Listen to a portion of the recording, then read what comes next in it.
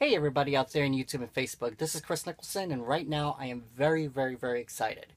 Well, as you can see here, I have my um, Casio PX5S Privia Pro and I tell you this, this is definitely the piano to buy.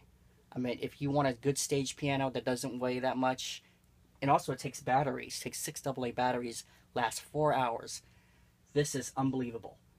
Unbelievable digital piano ever. Any sound that you want. It has most of the same sounds as the um, XWP1. I mean, it's to the T, it's one of the best. Um, but as you can see here, it says Casio, and over there it says Privia. And a lot of people's like, what keyboard is that? And I say, okay, it's a PX5S. And they're like, oh, where's the model number? Where's the name and everything?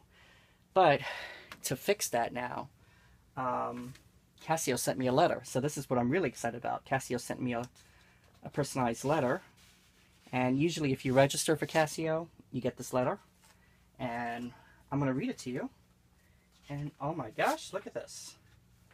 Not only did they send me one, but they sent me two PX5S decals. So one I can have in the back of this keyboard and the other I can have in the back of another PX5S when I get it, which I'm planning to actually have two. So here's the letter right over here. And this is July, this is um, actually two weeks ago that I got this letter and I opened it up, took pictures of it, put it back in. I was a little skeptic about putting the decals on, so I'm like, let me do this on camera today and actually, um, you know, show it to you guys. Okay, so July 30th, 2014. So thank you so much for your support of the Casio Privia Pro PX5S. As a special thanks, we've included two PX5S stickers. You could display one on the back of your PX5S. We think it fits best between the USB port and pedal connection as you can see below, right here. Okay, also then says the second sticker can be placed anywhere you like, such as the back of your laptop, your car, anywhere else that fits. Please see, or see, please feel free to send us a picture that we can share directly to me at mmartin at casio.com. And additional here, it says in additional, here is a list of places online you can go for our additional information and resources for the PX5S, which is Casio Music Forums. And also there is Privia blog, Privia Pro blog, and is PX5S Facebook user group, which I'm on. Uh, so I'm part of a member of that. And this website is very important, www.px5s.com. That's the website that I have to see that I didn't even know about. And it's uh, Sincerely Mike Martin, which Mike Martin is the General Manager of Marketing, Casio America. So this is very, very excited. And this to me is basically a christening um, of this keyboard. So, without any further ado, I'm going to take one of the PX5S stickers, and I think I'm going to put it just like right here. So here we go. What I could do is take off the bottom. I don't want to bend a sticker at all, and I don't want to put any fingerprints on it.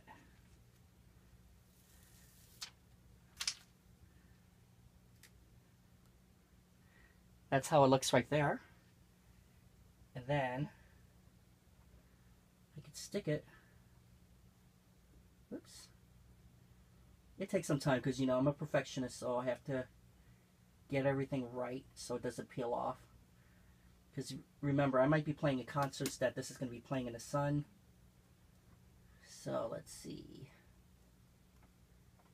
There we go. Just a little bit of wiping it down. Listen to that sound.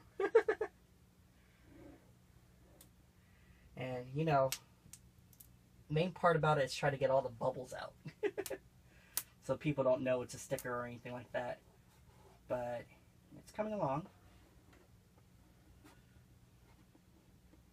Now, since this is white, um, you know, basically white white pianos, as I know, because I'm in the piano business, is very hard to clean. And white keyboards is a little bit too. There's a little bubble right here.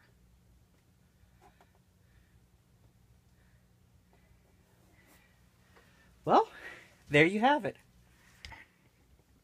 The PX5S is now offic officially christened. And it's going to look good on stage when I play with this. Now, as I said again, for the other PX5S sticker, that's going to be for my second PX5S. I am definitely getting another one. And um, one's going to be for the studio, and the other one's going to be for playing out for gigs. But it's unbelievable. Now, if you haven't seen this keyboard, I'm sorry that it's turned. Actually, let me see if I could climb over and I could actually show you.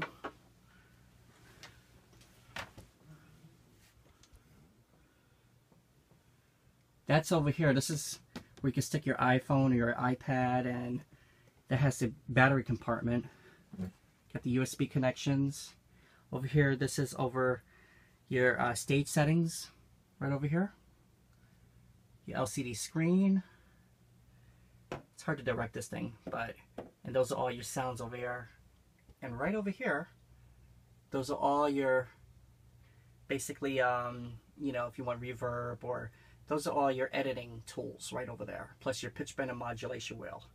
On top of that, you get 88 keys, and if you can look closely on the 88 keys, see if I can see in the light, but you see this little grooves in the keys. That is basically an ebony and ivory feel. Now, in the price range for a digital piano, you probably, you know, this this price range, which I, I got this real cheap, um, you probably will not get an ebony and ivory feel. Except for any Casio keyboards, you know. But yeah, this is it. Let me put this back where it belongs. And as you can see, it's on my grand piano right here.